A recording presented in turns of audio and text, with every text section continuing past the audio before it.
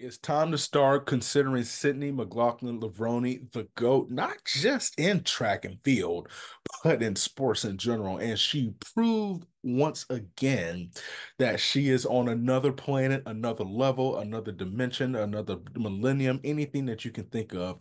She is that far ahead of everyone in the hurdles. Plus, an upset in the men's 200 and did Grant Holloway get it done? Of course he did. We're going to talk about all that in this recap on Track Talk.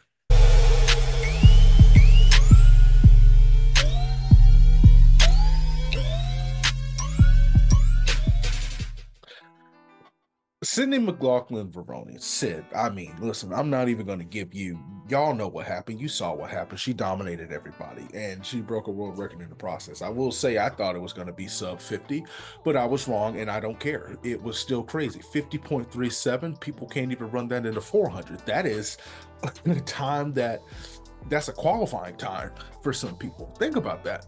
50.37, that is a time that you run to qualify for a round or make a team, depending on where you're from. And she just does that over hurdles. It doesn't make any sense. You talk about one of the best ambassadors for the sport, an incredible person with an incredible story. Her faith, her love for Jesus is inspiring, especially for those uh, who share in the same beliefs. And she has been blessed with this incredible athletic prowess that is just beyond comprehension.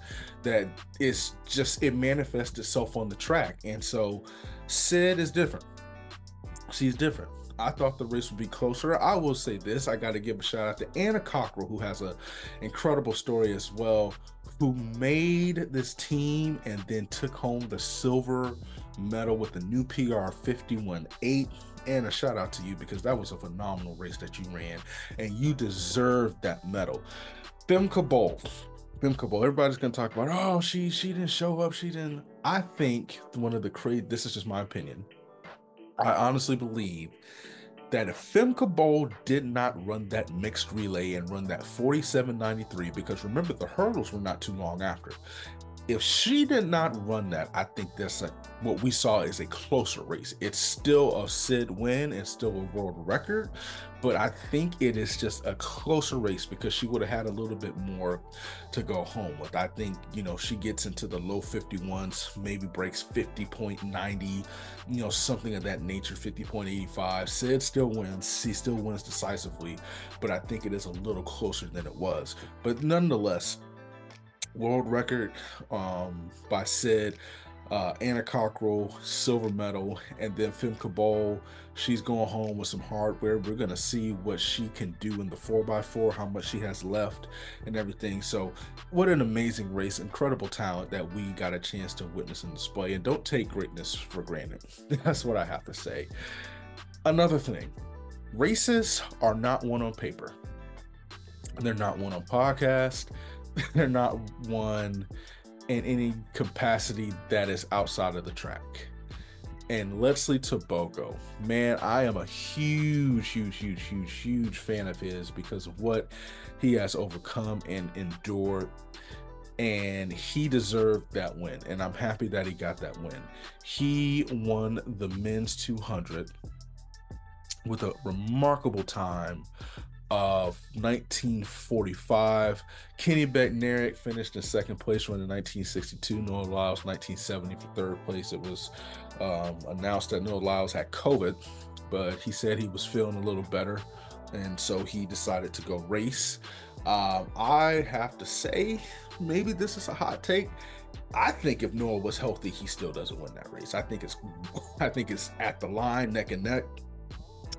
Leslie came off that turn too smooth, and I think where he's concerned, he's just getting started. And he kind of slowed down a little bit once he realized he got the win.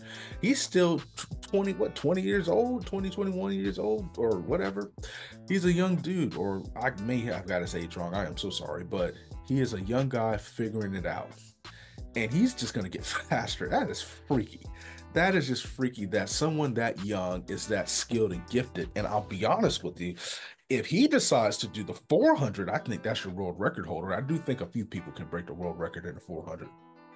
Um, But man, that dude is incredible. And so I got to give a shout out to him. Shout out to Kenny Bednarek because he's always the guy who we don't really we talk about the big heavy hitters, but Kenny showed that he is one of the heavy hitters, and that he's going to be a force to be reckoned with. He's going to get faster. Tebogo is going to get faster. Erriyon Knighton, he got a late start to the season with everything going on. He's going to get faster. Noah Lyles is going to get faster. I don't know who's going to break the world record, but we just need to enjoy greatness while we have it. And so it was a remarkable race in the men's 200. Tebogo pulls off the upset. And I know people are going to talk about his post race press conference uh, when they asked, could he be the face of athletics? And he said that, uh, you know, he's not as loud or arrogant as Noah Lyles. Um, I will be honest with you. And he said that's why Noah's the better face for it.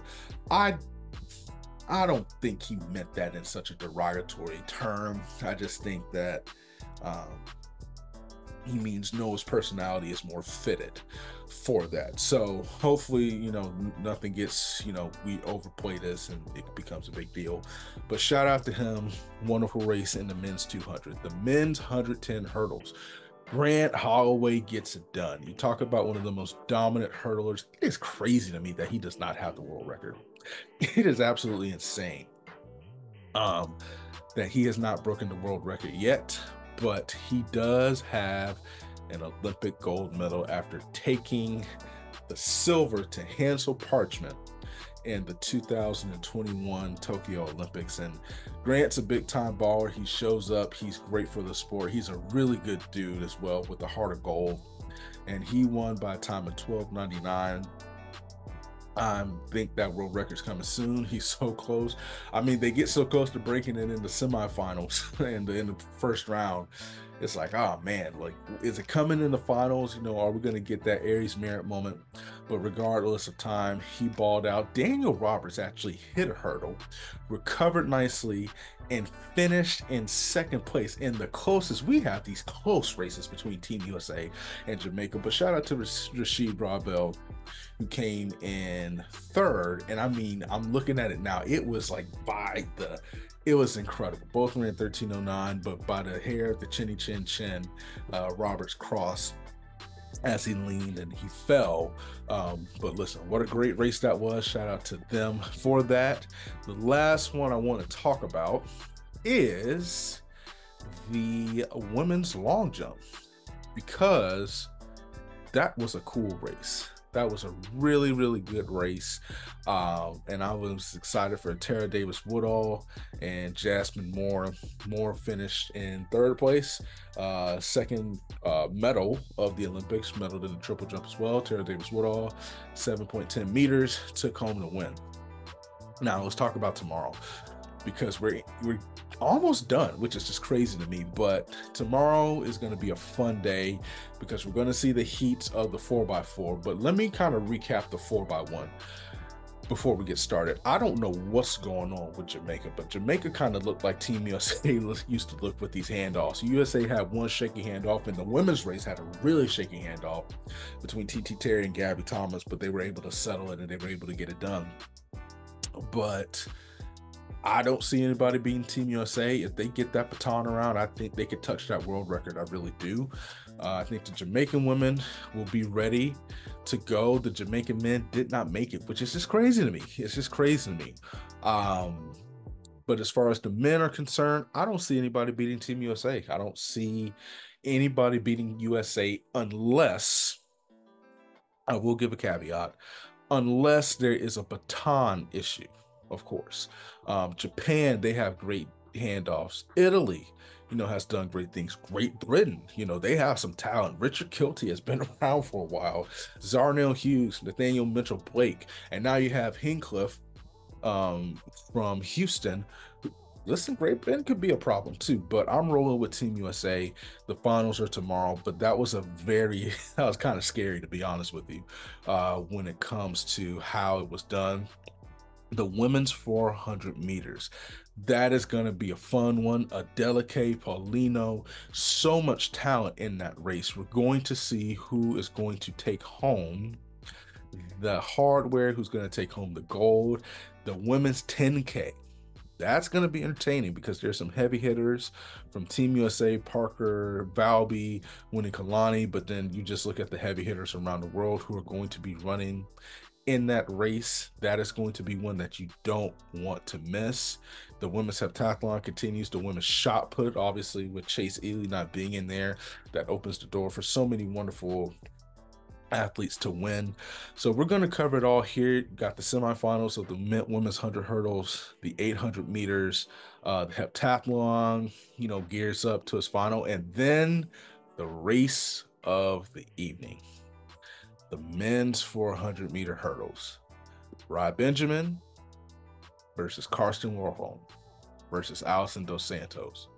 It is going to be insane. I cannot wait for that. I think a world, I don't know if a world record is going to come from that. I think it could be close. I think Vi can break 46, but to me, it's now or never for Rai, and I think he's ready for the moment.